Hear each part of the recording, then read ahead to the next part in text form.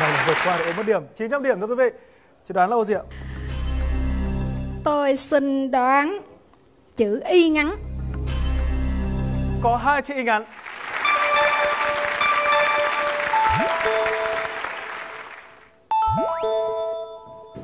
Tôi xin quay tiếp. Tôi chưa kịp hỏi thì chị đã xin rồi. Tôi quay tiếp. Tôi thấy rất quyết tâm. Quay tiếp. Vâng xin mời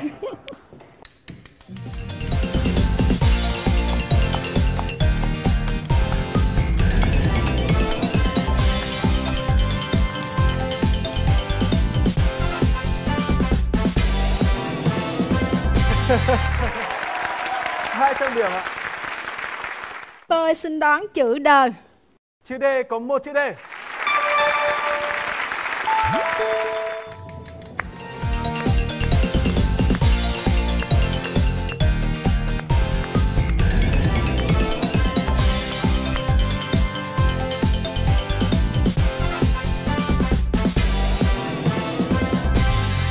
Bảy trăm điểm ạ tôi xin đoán chữ giờ.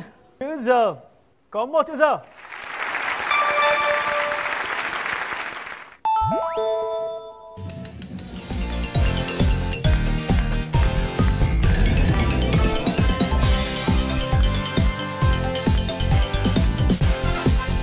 Đến gần ô mất lượt và dừng lại ở ô hai nghìn điểm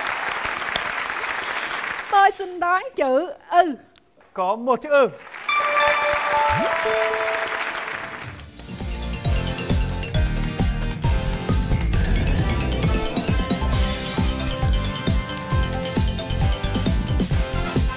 có qua được một lượt không ạ wow lại một lần nữa hai nghìn điểm tôi xin xin đoán chữ c chữ C có một chữ C. Như vậy là còn một ô chữ cái nữa thôi.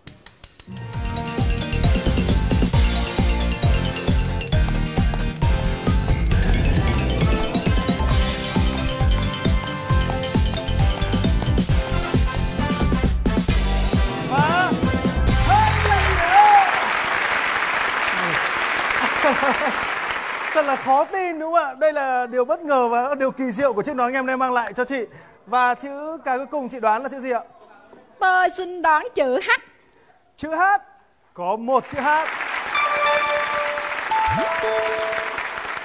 Bây giờ quan trọng là chị sẽ giải ô chữ này của chúng tôi. dân tôi xin đọc là dư địa chí Dư địa chí hoàn toàn chính xác.